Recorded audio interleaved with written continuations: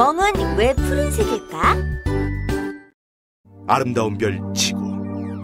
우리의 지구를 환경 오염으로부터 지키기 위해 파견된 최정의 요원들이 지금도 어디에선가 비밀스럽게 임무를 수행하고 있었으니 나는야 다람쥐 요원 툭 부지런히 열매를 심어서 나무를 많이 만드는 게 내 임무지 이 몸은 지렁이 요원. 잘 섞어. 비료를 줘서 흙을 건강하게 만드는 것이 나의 임무. 우리는 지구 수호대. 지원 조심해. 조심해.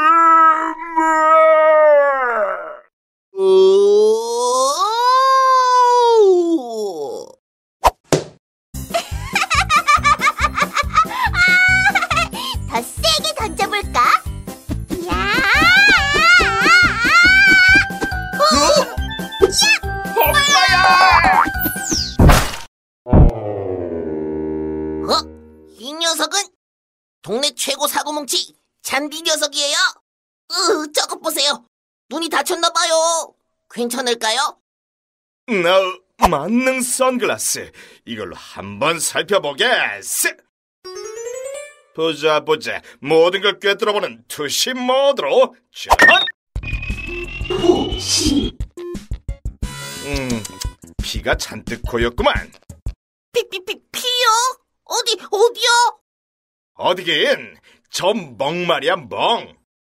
에이, 멍이 왜 피해요? 피는 빨간색인 거 모르세요? 하나만 알고 둘은 모르는군. 다람쥐용 피도 우리처럼 산소 없이는 살 수 없다는 거 알고 있나?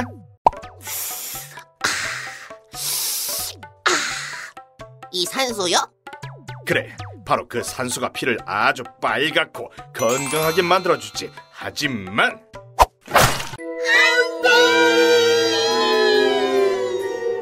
외부의 충격으로 혈관이 찢어지면 피는 새어나가 피부 밑에 고이게 되지. 산소! 산소가 필요해! 피가 푸른색으로 변했어요! 산소가 없어서 그래. 이처럼 푸르게 변한 피가 비쳐서 피부도 푸르게 보이는 것. 그게 바로 멍, 멍, 멍이란 말씀. 아, 그렇구나. 그럼 고인 피들은 어떻게 돼요? Don't worry. 시간이 지나면 다시 몸속으로 흡수되니까 피부를 살살 문질러주면 더 빨리 흡수가 되지. 그럼 우리가 문질러줘요. 응? 저 다람쥐원 아무래도 이건 좋은 생각이 아닌 것 같은데 이 녀석이 깨기라도 하면 이거 은근 재밌는데요. 얼른 흡수되라 펴. 어?